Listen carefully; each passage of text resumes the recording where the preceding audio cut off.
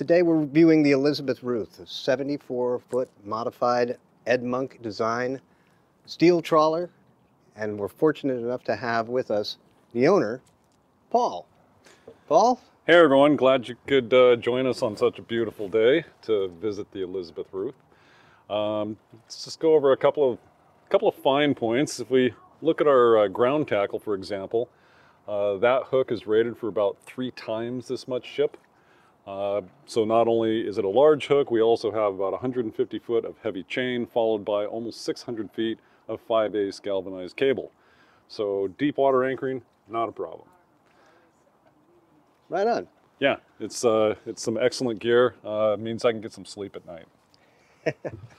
Well, that's what that's the most important thing. in It is. It's it is. beautiful. So And it's nice of you to show up with a microphone. Let's uh, go aboard and uh, yeah, let's take a look. yeah, and take us through. This is our midships well deck, uh, previously holds, uh, skiff, which the way the boat is set up with our knuckle crane, hydraulic, we can move the skiff uh, in any position on the deck. We can go center line, port side, or starboard side. So it makes it pretty easy if you have additional toys, which many times over the past we've had multiple small sailboats, kayaks, canoes, you name it, we've probably had it on here. And lots of stowage area for when you're underway that is completely protected up under the forecastle. And with this really nice whaleback uh, deck, it keeps this deck dry. I've never taken water over that bow, and we've been in some pretty nasty conditions offshore. Tell us a little bit about the history, real quick, about the history of the boat and So Tracy and I have had the boat for about 23 years. Uh, raised two of our sons on the boat. Um, we are the third owners. The previous owner had her for a number of years, had some health issues, and decided to sell it, which is when we bought it. She was originally built uh, in Robinson Yard in Southern California for the owner of the yard. He wanted a uh, toy that he could take to the Bering Sea. And well, she can it. certainly do it. Yeah, Between her long range, uh, as toughly built as she is, um, Caterpillar 343, one of the, the all-time classic best Yeah. engines Caterpillar ever built. Sure. Uh, she runs really well. Uh, that's excellent.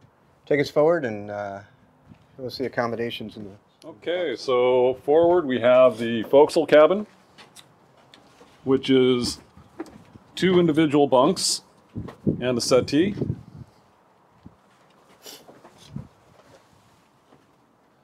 Uh, both with privacy curtains.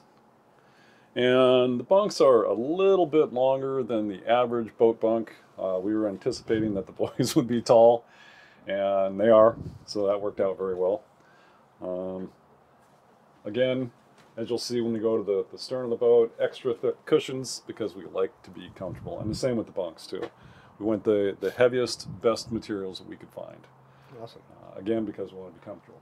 Uh, plenty of stowage underneath, hanging locker on both sides, and then of course all the stowage up here. And actually originally we had a TV here for the kids. So lots of room. Ruh-roh. What? So You're uh, come in here. yeah. Our- Clean Imagine again. that. our main salon, um, because she's a sea boat, everything is built in. Uh, lots of stowage uh, under and behind everything, including under the built-ins over here. You can access where Tracy likes shoes over there, access over here, larger access on this side.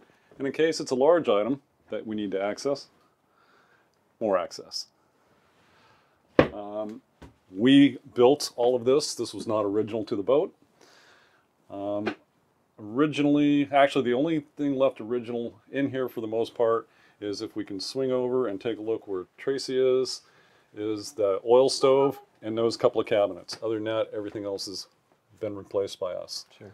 including the, the stainless steel, cast stainless steel port lights uh, and everything else. Again, we uh, installed and built all of it Gorgeous. so over the years. Um, one of the other things that we notice in a lot of boats is these drawers, we put these in, we built them about 18 years ago. We lived on the boat for 10 years. Uh, we raised our two boys on the boat, and I think they've held up pretty well. Uh, especially if you look at three quarter inch marine mahogany. I mean, it looks like we built them last month. Tell us about some of the woods you used. In in, So the boat I grew up on had an enormous amount of uh, different woods, and I really liked that.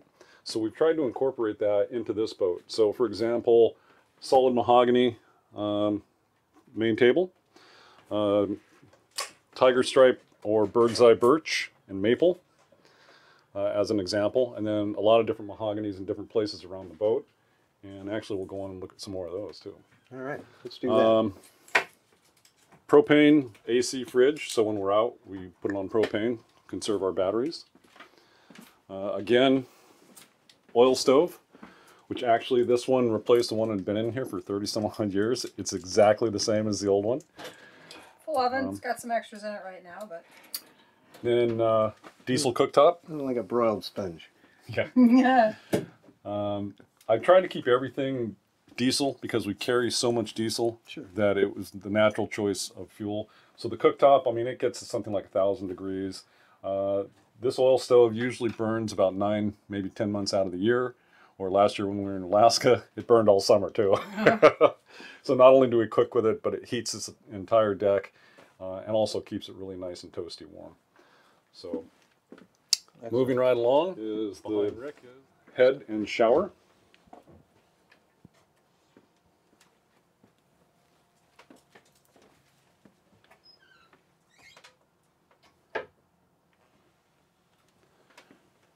And then this originally was a double bunk, which we converted into our office. And as you can see, the mattress is actually up against the wall there. So we can flip it down, convert this back to a room very quickly, and it's also got its privacy curtain. And then we'll go up top here in a little bit. So moving to the down below, this is the laundry room and stairwell. And Rick, you were talking about uh, some of the woods earlier.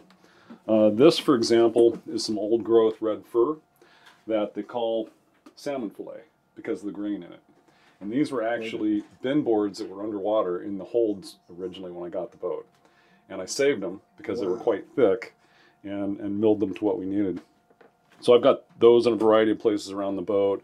You know, this is a, another mahogany, Mhm. uh, it's different from the table.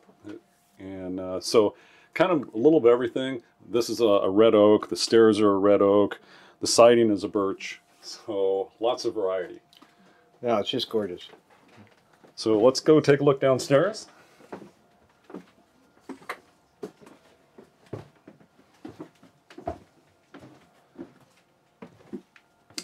And one of the things that I have to mention is my stairway.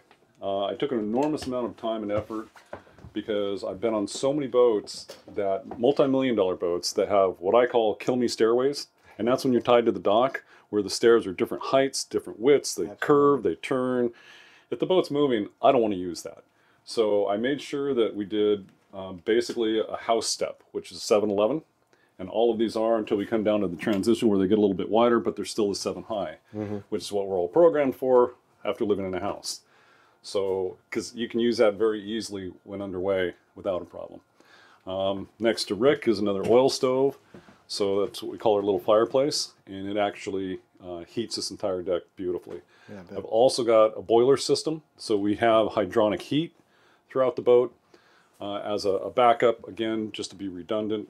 Uh, in fact, actually, we probably use the boiler system more in the summertime because I built in a hot water uh, uh, racetrack loop. So it goes from the boiler to the uh, water heater, and there's a double loop in there. So in minutes, it heats it to like 155 degrees. Then we add a, a mixing valve, mechanical mixing valve, to bring it down to 120. So we have basically unlimited hot water. So kind of nice. That's We want a nice long shower. And since we carry 1,200 gallons of fresh water, we, we don't conserve. We don't have to conserve. We typically, with the four of us, we go about five weeks. Showers every day, laundry every day. Sure. You know, the kids were throwing on each other, so not a problem. Um, again, below this settee is all stowage. And then our down below head. Oh, and I, I forgot to mention, both of the heads in this boat are Tecmas, which it was worth every penny. Yeah. I've never had a problem with these Tecmas, and they have been indestructible. outstanding. They are. They really are. They were worth it. Um, anyway, so uh, head and shower. Um, these were something that I'd seen on uh, some other commercial boats. This type of setup. These happen to be solid Western maple, so they're quite heavy, but they slide easily, but not so easily to where when you're underway that they're going to move around. They pretty much just stay put. So that's kind of nice. Um, we like a lot of light, so we made sure we did big hatches. There's a port light on each side in both cabins down here, as you'll see. Also, on the boat I grew up on, they had these prisms, which I thought was pretty neat. So I had to put those in this boat when we did the rebuild on her. And if the sunlight actually hits it directly, cool. it, it lights this cabin. It looks like a hundred watt light bulb or better. And there's actually there's a, a small one which is being hit by direct sunlight in the shower. Probably the first six months after I installed them, every time I came down, I, I was uh, swearing that who's leaving the left lights, on? Moving into the main cabin.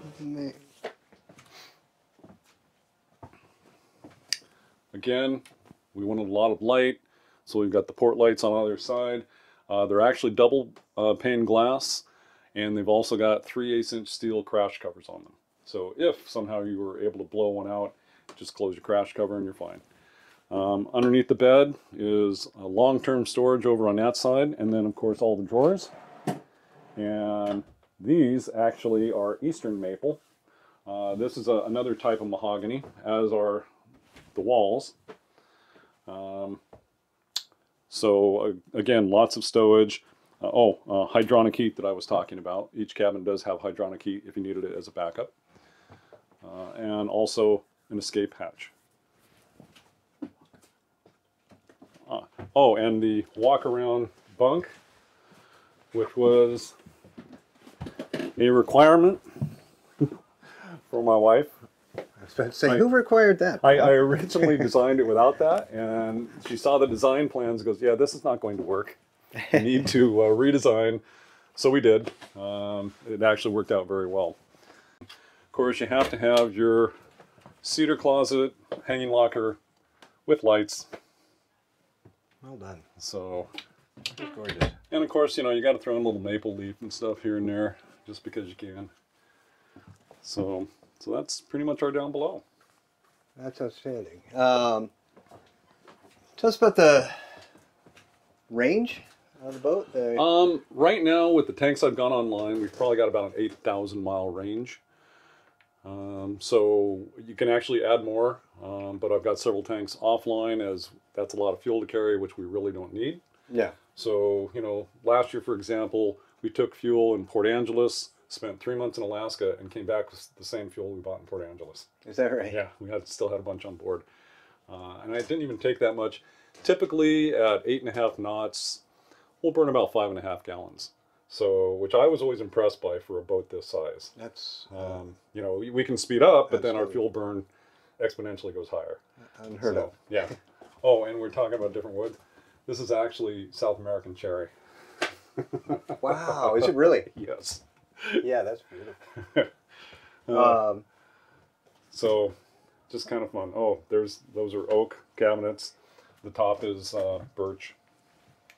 Um, oh, and yeah, the wood in here is just Yeah, and the, the other cabinet It with all the cubbies. So it's it's just different, you know. So you get to look at all the different woods, and that that's another maple too. Oh, and something else, Carrick. Let's uh, take a look at these beams that I've got covered. So the main frames of the ship um, are covered with oak. Uh, I did it with a red oak, and I did that because so many of the the old sailing ships, uh, their main frames were oak, Mhm. and I just thought it'd be kind of a cool thing. So we covered the big steel frames with oak. wow, So yeah, yeah. So just beautiful, man. Um, all right. On that note, let's, why don't we go take a look at the wheelhouse? let's do that. All right, we're up in the wheelhouse. Let's take a look. Yes, we are. And Yes. as you just came through the pilot berth, uh, so usually when we're offshore, that's my bunk. So whoever's on watch, if there's any kind of an issue, traffic or whatever, they can just nudge me. When we're underway, we typically will fold this down, and then behind that is also a chart table. So you've got a nice large area to Oh, fold your charts out. Uh, and actually under that bunk, I've got charts from complete from Mexico to Alaska. Um, all Your bundled. stomping grounds. Yeah, absolutely. uh, so here in the wheelhouse, um, as we'll notice, nice, comfortable watch chairs. Yeah. We- again, we like to be comfortable. Um, if we look all the way over to the port side, we have a VHF radio. Next to that is a bridge watch, which you can make a countdown for whatever the captain sets it for. If it makes it to the end of the countdown, a very loud and obnoxious alarm goes off, waking up everyone on the boat. I love those. Uh, they're they're kind of cool. Um, anyway, uh, up next to that is just entertainment. Um, then if we go straight down onto the console, we have depth sounder. Uh, next to that is actually a jog stick. So you can land the boat from either port or starboard. So you've got a gear and throttle there and a jog stick. And then as you've probably already noticed in the center um, is the wheel, but there is no chair. Yeah. The wheel is actually uh, a manual hand backup. So if you were to lose your electronics that runs the joysticks, then you can still steer the boat no problem. It's a lot more work. I prefer using my finger on the jog stick. Um, but anyway, so that is a backup. Radar, radar, rudder indicator, uh, GPS, which goes to the chart plotter, which goes to the autopilot. Uh, also electronic compass. Um, oh, uh, another VHF and loud hailer, so you've got all your uh, fog signals uh, already programmed in. Um, and that's about it. Oh, uh, battery monitor, uh, of course, wet compass, fully gimbaled, basic engine gauges. Um, again, gear and throttle. I usually run the boat from over here. Usually, even if I'm landing on on uh, port side, I'll still run the boat from over here. Usually, uh, I guess So- I've done it enough. Yeah, Kind of old school stuff, but it's old school because it's it's reliable and gets you there. it is. It is, and That's what you need. I've I've run a lot of commercial boats, uh, especially the new ones, with you know the entire bridge is full of touch screens, and you know this will take you anywhere on the planet. Uh, I've done basically the whole uh, coast of North America, um, and never a problem. Uh, this this is all I need. If I've got my radars, and my nav equipment, and my paper charts, even still, uh, and of course the autopilot, so you can put your feet up and have a cup of coffee and just be on watch. Oh, uh, single sideband. So for offshore uh, weather reports, Right. contact, etc. And then behind me, so this deck is probably one of our favorites. Um, I can see why. so with the lines overhead, we string a sail over uh, to give us a little sun protection. And of course, when we're at anchor, now you're out of the wind. You've got kind of a nice lofty view. Uh, the different tables that we can put together. Uh, behind Carrick, who is filming, is the propane locker. And in fact, there's one of the sails that we normally put up uh, that'll go over this deck. And as you'll notice under the propane locker, there is no bottom. So if you have a propane leak, it's just going overboard. Uh, and then to the left of that, under the blue cover, is the barbecue, which took me many, many years to find. It's Australian built and it's guaranteed to stay lit up to 50 knots. I've, that right? I've tested it to 35 and it works. All right. it always annoyed me when I'd come out my barbecue was off. Never. I've had this one for probably, I don't know, 10 years or more and never had an issue. Um, moving right along, we have our SOLAS B pack, uh, eight person self deploying um, life raft. And actually, usually we go with the SOLAS A, but we weren't planning on doing any offshore this year. So we have to renew every year. So next year we'll decide are we going back to our A pack rather than a B pack. Uh, next to that, of course, is your EPIRB, uh, self deploying, if you're really having a bad day. A uh, couple of life rings. And then back here is the swim step, which actually is two parts. So we've got the outdoor shower, which we haven't assembled yet this year. So we've got the outdoor shower, and then the swim step. That also is the second part, which folds down. I wanted it a little bit lower, so you're quite low to the water for kayaking. Sure. That's So awesome. we do a, we do an awful lot of kayaking, and that just made it a little more convenient. So for boarding, uh, getting on and off the boat.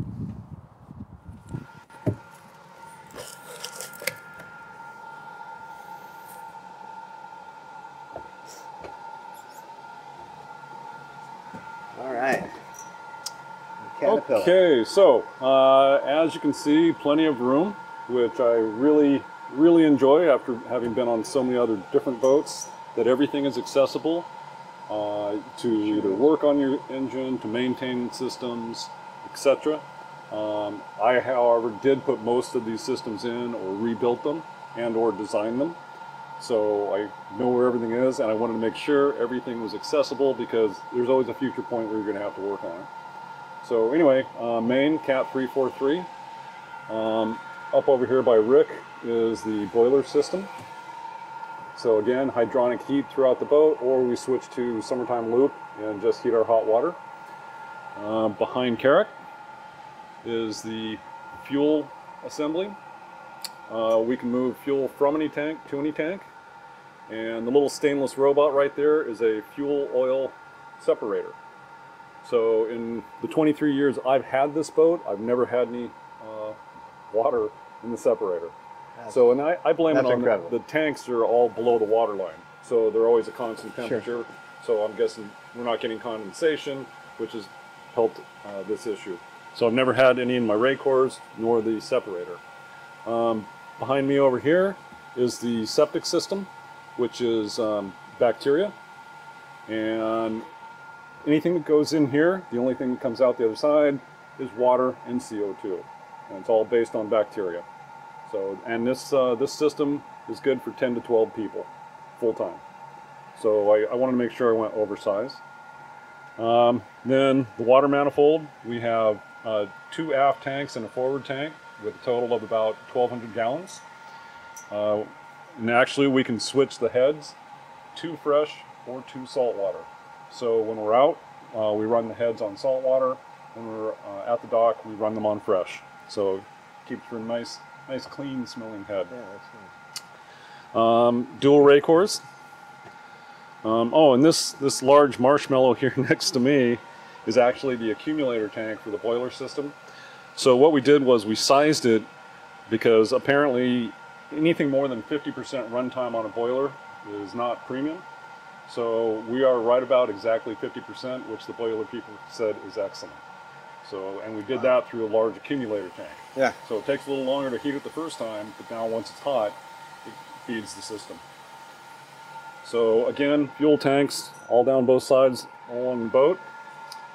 Um, let's see, bypass oil system over here next to the halon system. Steering system.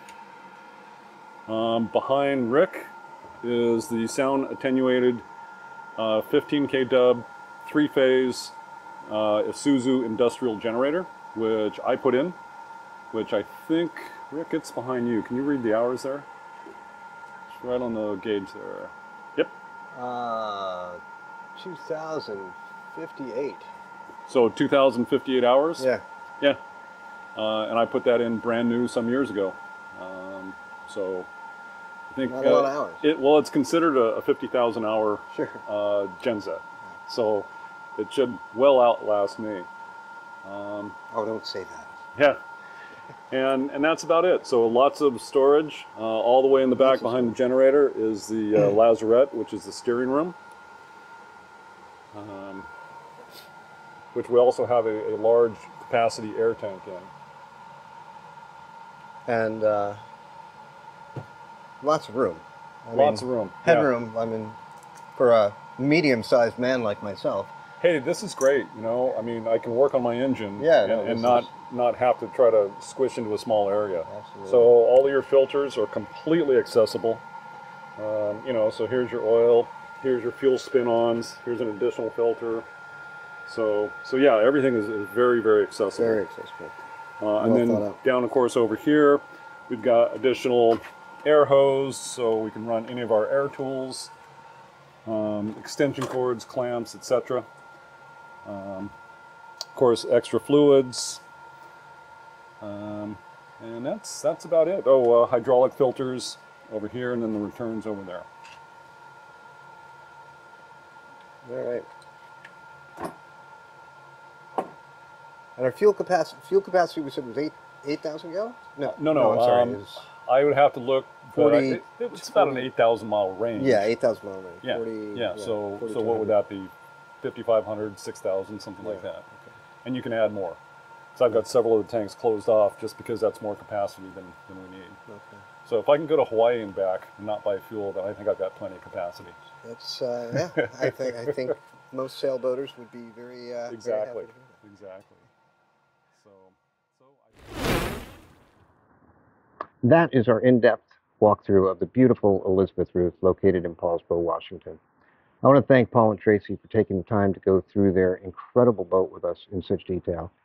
The Elizabeth Ruth is a very special vessel, and she is currently in search of her next very special owner. If you want more information or you'd like to schedule your own personal walkthrough, get in touch. Contact us using the contact information on this page, and if you're watching this on YouTube, there are links in the description below. We'd welcome the opportunity to get you aboard for a viewing. And until then, thanks for watching.